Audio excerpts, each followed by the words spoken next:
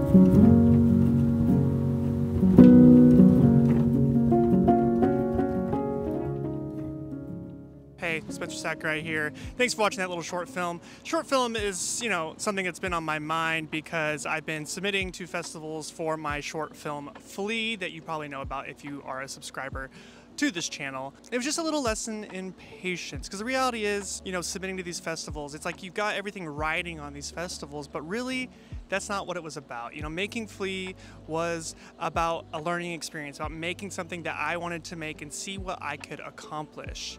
And the reality is it has not gotten into any festivals. The film is about 24 minutes long, which I, which I think is just pre pretty much too long for most festivals. It's a genre type film and not your kind of typical indie drama that does well at festivals. And that's okay. I'm really excited to put it online here shortly. Once the music is composed, I will release it on YouTube here, so stay tuned for that. And we'll do an online premiere and everyone can, you know, uh, watch all at the same time. I'll do my best to, you know, create a schedule and let everyone know when that's going to happen. And so we can kind of all watch it together and chat down in the comments. And so really it's just about, you know, not worrying so much about the festivals and the outcome and just kind of enjoying life as it is and knowing that filmmaking is not my full identity. You know, it's like justifying to myself. Like if I don't get into festivals, that's okay. And I hope that is something that can inspire some of you out there as well that are trying to, you know, make films, get into festivals. Don't worry about it. It's okay. You made the film and that's fine.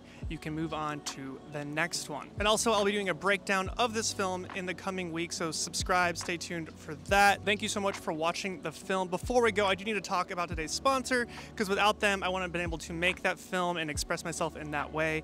And today's sponsor is Squarespace. Now, Squarespace is an all-in-one platform to present your work online. If you need a website, listen, we all need websites in this career. We need to have a place to show off our work um, and what we're doing, and Squarespace makes it super easy. You know, you can start with one of their pre-existing templates to get going or build the entire website from scratch. They obviously make it really easy for people that want to create a portfolio. You can embed videos there from Vimeo or YouTube. You can even host the videos native on Squarespace, of course. And what I really like about Squarespace is that I can handle all of my stuff through there, right? I can, I set up contact forms so people can contact me about work, about cinematography work, and it just streamlines all that for you. You know you're getting a business inquiry versus just in random mail or maybe mail that might go to your junk mail. And so things don't get lost as easily in your mailbox. So if you're looking to start an online store or a website or you need a domain, you can just do that with Squarespace. Just click the link in the description to get 10% off. And I want to thank Squarespace for sponsoring this video. And as always, I'm Spenser Sakurai.